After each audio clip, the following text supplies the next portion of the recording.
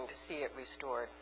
Um, I- would take issue with the idea that this skew of power towards executive power is um, based largely in what happened after September um, 11th, 2001. And I think John referred to the vice president making these remarks the week after the inauguration. I think this was really a goal, certainly of the vice president, to um, uh, build up executive power.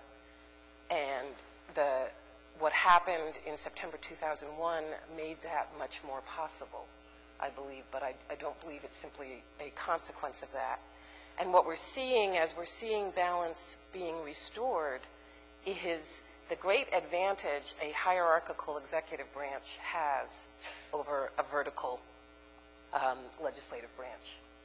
And so, you know, it's not going to be a pretty process watching this happen. Say a little bit more about that, the advan- the advantage that the executive power has in this constant struggle of the Well, branches? If you just look at any of the, if you look at some of the executive privilege uh, battles that are going on right now, you, you, you have the president direct an executive branch official uh, not to testify, or not to pro- provide documents, done. Congress has to, uh, you've got the committee structure. If you're going to vote contempt in the committee, then you've got to get a vote um, on the floor in the Senate. That means a supermajority. You, in any event, when we're talking about this, the, the, the line of, between partisan bickering and um, legitimate oversight, it's, it's not as if there's one person who's directing uh, what there will be, and whether there will be partisan bickering, and who's getting face time on, on, the, on the news about it. So it's, I think it's, it's, it's certainly not, having been in, in the White House and, and the executive branch, I don't mean to suggest that um, it, that's a pure system, and that there aren't outliers and lots of trouble controlling message. Um, there can be, but I think it's much more complicated for Congress to, that Congress is not, you know, one thing or one person. And so it, it- it's harder for Congress to calibrate its strategy in the struggle between the branches.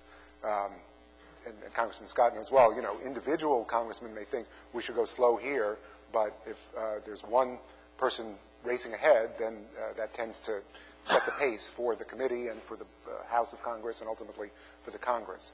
I think there is um, a natural uh, you know, the framers were brilliant, and so every day you see the natural tension and balance between the executive and the, and the legislative branches.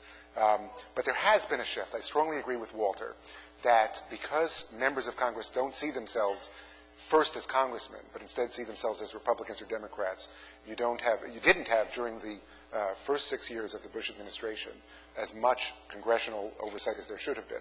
I mean,